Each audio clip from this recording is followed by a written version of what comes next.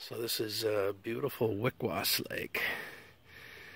And it's uh, it's another gorgeous morning. I'm gonna try for largemouth today.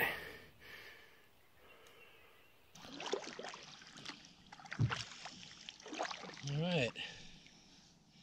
We're doing a little something different this morning. We're on uh, one of our local lakes. This is uh, Wickwas Lake, or in Meredith Center. This is a uh, primarily a largemouth lake, although I know there's smallmouth in here.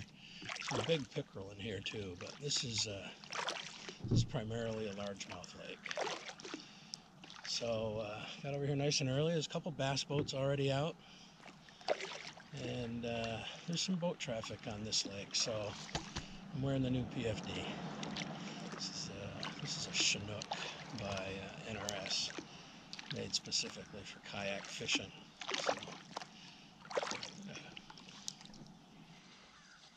Second cast with the spinner bait. What do I got here?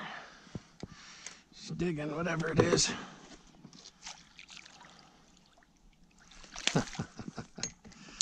Wasn't that cool? Decided to throw the spinner bait because I had it on. And first fish of the day. Nice little little largemouth. 12 inches. Oh, this water is warm. Cool.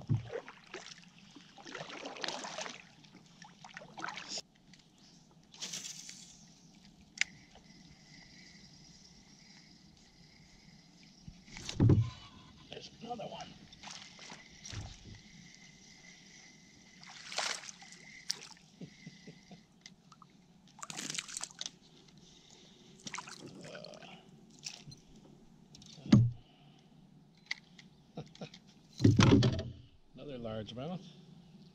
This one's a little tiny one. Forecast, two fish. It's going to be a good morning. Let's get into some bigger fish. All right, well, this is turning out to be a pretty incredible morning. This is my fourth cast and my third fish on a spinnerbait. Little bluegill. Oh, I'll go down there. But that's amazing. I, uh, you know, I'm actually I'm using some crawfish uh, scent on my spinnerbait, but I have cast this thing four times. I've caught two largemouth and a bluegill. The bluegill hit just like the minute it hit the water. A little better fish.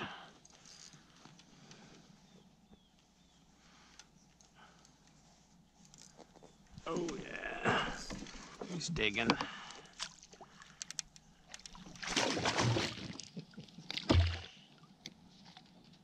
All right, got me all twisted up little better bass. There you go.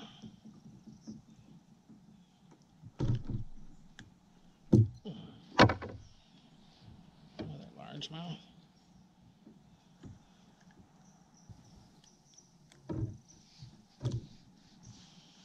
Another nice little largemouth, 12, 13 inches. Oh well, they're not giants, that's for sure catching a few, which is good. Got that one on the uh, chartreuse and white spinner bait. A little black, silver blade, white trailer. Fun, fun.